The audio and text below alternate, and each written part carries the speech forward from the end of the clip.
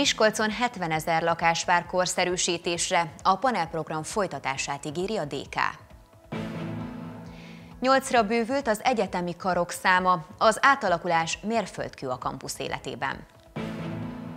Roma kultúra nem csak romáknak, visszatér a Teátron Fesztivál Miskolcra is.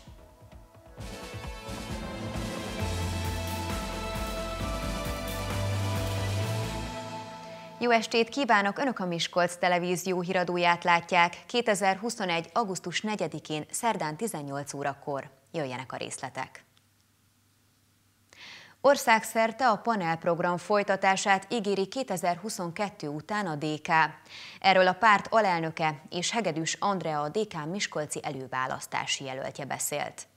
Varjú László, mint a Költségvetési Bizottság elnöke azt is mondta, hogy a források rendelkezésre állnak a panelprogram folytatásához, ehhez azonban kormányváltásra is szükség van. A korszerűsítés Miskolcon 70 ezer lakást érint. Miskolcon 24 lakótelep van, közülük számos panel a belvárosban. Vannak olyan emeletes házak, amelyek elavultak, és olyanok is, amelyeket megépítésük óta a társasházak és lakóközösségek már korszerűsítettek. Egy olyan környezetben állunk, ahol valóban panel épületek vesznek minket körül, viszont ezek a panel épületek már 2010 előtt megújultak. Hegedűs Andrea, a DK előválasztási jelöltje azt mondta, hogy pártja politikusai számára elsődleges a miskolciak jóléte az emberek pedig akkor fogják igazán komfortosan érezni magukat felújított lakásukban, ha 2022 után a számlát a kezükbe veszik, és a környezetbarát hűtés, valamint fűtés is olcsóbb lesz, mint jelenleg.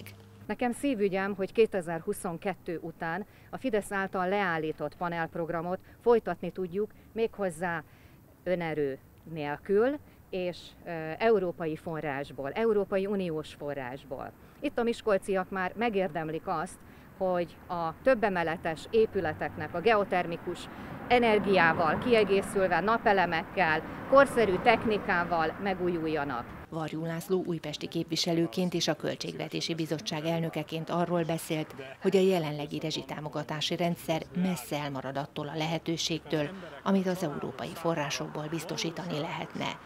Varjú László említette azt is, hogy a közelmúltban Gulyás Gergely minisztertől megkérdezte, hogy miért állította le a Fidesz a panel programot. Amire a miniszterelnöki hivatal levélben azt válaszolta, hogy 20 milliárd forintot fordítottak erre. A DK szerint hosszú évek eredményét adták össze. Magyarország számára 17 ezer milliárd forint áll rendelkezésre a következő időszakban. Tudjuk, hogy több csoportban, tudjuk, hogy vita alatt áll, éppen azért, mert Orbán Viktor rendszere nem alkalmas arra, hogy igazából jogállami keretek között az emberek érdekeit képviselve járjon el. Varjú László utalt Dobrev Klára miniszterelnök jelölt programjára is. Ez szerint uniós támogatásban önrész nélkül minden panel és társasháznak lehetősége lenne a felújításra azért, hogy az emberek életkörülményei javuljanak. A Költségvetési Bizottság elnöke hozzátette, a források rendelkezésre állnak a panelprogramhoz, de ehhez kormányváltásra is szükség van. Az egyes számú választókerületben folytatódott a polgármesteri bejárás. Badány Lajos önkormányzati képviselő megmutatta az elmúlt időszak fejlesztéseit és beszélt jövőbeli terveiről is. Ezek között szerepelt a Sejemréti óvoda újítása és a Bújai utca járdájának javítása is. A keddi polgármesteri bejárás az Eszterlánc néphagyományőrző óvoda Sejemréti tagóvodájában kezdődött, ahol Badány Lajos saját választókerületi alapjából finanszírozta egy új mászóka beszerzését. A fejlesztésnek a pedagógusok és a gyerekek is örültek, hiszen több játék az udvaron már használhatatlanná vált. A beüzemeléssel, a szállítással több mint egy millió forint volt. Az elmúlt időszakban több felújítás történt már az óvodában, azonban Nemesi Ilona tagóvoda vezető a bejárás során további problémákról is beszámolt. Elmondta a többi közt a padló linóleumának cseréjére és a szigetelés felújítására is szükség lenne. parkolási problémáik is vannak, ugyanígy ugye már csatornát meg kellene csinálni, úgyhogy van még ott feladat elég. Én megkértem az intézmény vezetőjét, hogy mindezeket írják össze, továbbítsák felém, és akkor hát lehetőségeinkhez képes megpróbáljuk ezeket orvosolni. Ezt követően a Bújai utcán folytatódott a bejárás, ahol a Sejemréti általános iskola melletti járdaszakasz újult meg, szintén képviselői alapból. Badány Lajos elmondta, hogy további hasonló fejlesztéseket, köztük a zúzalékos utak aszfaltozását is tervezi. Ez pedig már a Miskolci állategészségügyi telep, ahol korábban a kenelek tetejét cserélték le. Szegedi Eszter a menhely vezetője elmondta, hogy gyakorlatilag teltházzal működnek, emiatt az örökbefogadási program népszerűsítését javasolta. Végezetül a Gyóni Géza utcára látogatott el Veres Pál és Badány Lajos, ahol egy felújított játszóteret néztek meg. A korábban használhatatlan állapotú terület a helyiek és képviselőjük társadalmi munkájának, illetve a városgazda kollégáinak köszönhetően újult meg. Jól látjuk azt, hogy vannak olyan nagyobb beruházások, például intézményfelújítás, útfelújítás, amit elkerülhetetlen lesz a következő akár topos ciklusban, tehát Európai Uniós ciklusban, de azt is látjuk, és arra kértem itt a képviselőket, a polgármester urat is, hogy azokat a kisebb volumenű fejlesztéseket, itt javításokat is mérje föl, amit akár saját forrásból is évakarát nagyon szisztematikusan meg tudunk majd csinálni. Verespál polgármester beszélt arról is, hogy a Nyitott Városháza program alapelve, hogy az önkormányzat várja a lakosok igényeit, visszajelzéseit és azok figyelembevételével igyekszik fejleszteni Miskolcot. Augusztus 1-től 8 karral büszkélkedhet a Miskolci Egyetem.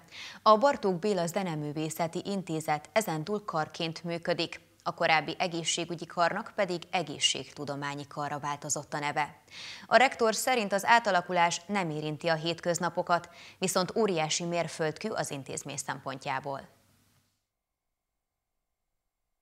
Ezek a pálcák, amiket használunk, amikor az orgaratba és a szájgaratba kell benyúlnunk. Tavaly novemberben a Miskolci Egyetem hallgatói is részt vettek a koronavírus tesztelésben. Csak nem 40 fiatal jelentkezett önkéntes munkára, többségében az egészségügyi karról. Ők a mintavételben, más karok hallgatói pedig a szolgálati autók vezetésében segítettek. Az egészségtudományi képzés több mint két évtizedes múltra tekint vissza Miskolcon. A kar 2005-ig intézetként, 2008-tól egészségügyi karként működött. Augusztus 1-től pedig a karon folyó tudományos munka az intézmény nevében is megjelenik óriási felelősséget jelent számunkra, hiszen úgymond nem csak oktatunk, de eddig sem ezt csak ezt tettük pusztán, azért alapvetően az egészségtudományi kar minősítés azt mutatja, hogy a kar az oktatás mellett nagyon komoly tudományos tevékenységet is vállal, és a tudományos életben is le kell tennünk a lábnyomunkat. Ezen a felvételen a Miskolci Egyetem Zeneművészeti Intézetének hallgatói zenéltek végzős társaik diplomaosztóján. A felsőoktatási intézmény évtizedek óta meghatározó szerepet tölt be a város és a régió zenei életében.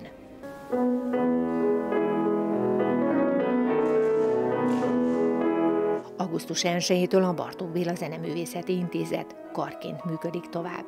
Szeptembertől pedig több hangszeren a művészképzés is elindul. Hogy intézetben kar lettünk, az a mennyiség és a minőségű képzésünket is illeti, hál' Istennek örvendetesen évről évre emelkedik a hallgatói minőségi hallgatói létszámunk, illetve olyan minőségi oktatógárdánk kezd felduzzadni a kinevezett oktatóink között, ami talán az egyetem is úgy gondolta, hogy méltán predestinál minket arra, hogy most már karrá váljunk. Horváth Zita szerint rektori pályafutásának legörömtelibb pillanata érkezett el, hiszen mindkét korábbi ötlete megvalósult. A Zeneművészeti Intézet karrá vált, az egészségügyi kar pedig felvette a tudományos nevet. A rektor azt mondta, szeptembertől ugyan nem változnak a mindennapok, de ez mégis fontos lépés az egyetem életében. Azt gondolom, hogy Miskolci Egyetem egészen nyolc karral egy komoly helyet vívott ki magának a hazai és a nemzetközi felsőoktatás térképén. Veres Pál kettős szerepben, polgármesterként és az Universitas Miskolci Nenzis Alapítvány kuratóriumi tagjaként volt jelen az eseményen. Elmondta, az átalakulás jól mutatja az egyetemen folyó munka szakmai színvonalát. Nekünk az a feladatunk a kuratóriumban, hogy az egyetem színvonalát minél jobbá tegyük, minél jobban segítsük az egyetem működését. Azt gondolom, ez egy komoly mérföldkő, hiszen meg tudtuk erősíteni két kart is, és ezzel együtt természetesen az egyetemet. Veres Pál polgármesterként hozzátette, céljuk, hogy a kampuszt közös programokkal közelebb hozzák a városban élőkhöz. Ebben a fesztivál és gyógyturizmus, valamint az egészségipar jelenthet kitörési pontot. Roma művészet nem csak a roma közönségnek. Augusztus 15-e és 21-e között rendezik meg Észak-Kelet Magyarország 8 településén a Teátrum 21 Fesztivált. A rendezvénysorozat zárónapján Miskolcra érkezik a program, ahol rendhagyó előadásokon és zenés műsorokon keresztül ismerkedhet a közönség a sokszínű roma kultúrával. A belvároson kívül Jukóvölgy, a Tetenvár és a Bábonyi Bérc is a helyszínek között szerepel. Bizonyítanod kell az iskolában, hogy nem vagy kevesebb a többieknél. Történet egy roma lányról, akinek két életút közül kell döntenie. Kövesse a családi mintát, vagy a továbbtanulást válassza. Ilyen és ehhez hasonló tanulságos darabokkal, színpadi produkciókkal indult el 2020-ban Miskolcon a Teátrum Fesztivál, amely hatalmas sikert aratott. A tavalyi év sikerei után mi úgy gondoltuk, hogy azonnal elkezdjük szervezni a következő évet. Újult erővel, még színesebb programmal érkezik az idei programsorozat, amelynek a régió 8 települése ad otthont augusztus 15-e és 21-e között. A fesztivál alsó vadászról indul, majd a többi közt Abaúj-Szolnokon, Kázsmárkon, Szendrüládon át haladva szólítja meg a romákat és a roma kultúra kedvelőit. Az esemény augusztus 21-én Miskolcon zárul, ahol a programok a belvároson túlnyúlnak majd. Ez a fesztivál, ez, ez, ezen a napon elmegyünk a három legnagyobb szegregátumban a Miskolcon van, tehát a Bábonyi Bérc, a Tetenvár és a Jukóvölgy, ez a három, három helyszín, délelőtti helyszín után a belvárosba próbáljuk invitálni a, a külső kerületeknek a roma lakosságát, illetőleg a többségnek a roma kultúra iránt kíváncsiságot érző tagjait várjuk a belvárosban egy nagy közös ünneplésre. Miskolcon számos roma fiatal tanul, megyeszékhelyként pedig központi szerepe van a fesztivál szervezésében.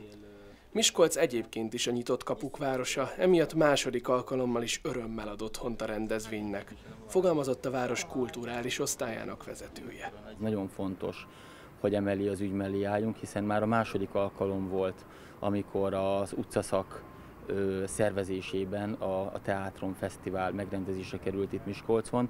Tavaly egyébként ennek nagyon nagy sikere volt, és végtelenül jó érzéssel töltötte el a lakosságot, illetve megvolt az üzenete ennek, hogy a, a befogadás, mennyire, mennyire jellemző a város. Én azt gondolom egyébként, hogy Miskolc egy végtelenül befogadó város, nyitott a, a, kulturális, szok, sok, a kulturális sokszínűségre. Bár a teátrom, ahogy a címe is mutatja, elsősorban színpadi előadásokra épül, de emellett számos játékos és kézműves foglalkozást, beszélgetést, kiállítást és bemutatókat is tartogat.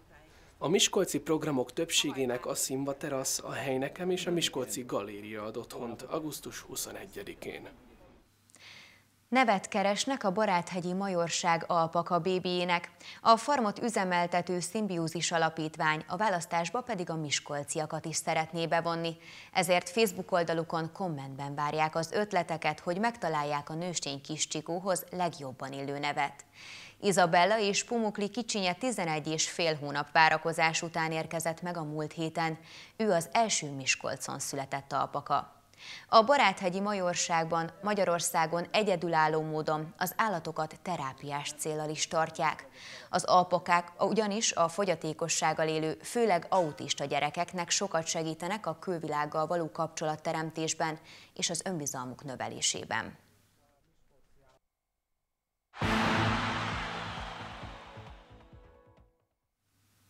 Hagyományteremtő szándékkal rendezi meg a DVTK labdarúgó sportakadémia az első Rakacki kupát augusztus 10-e és 14-e között.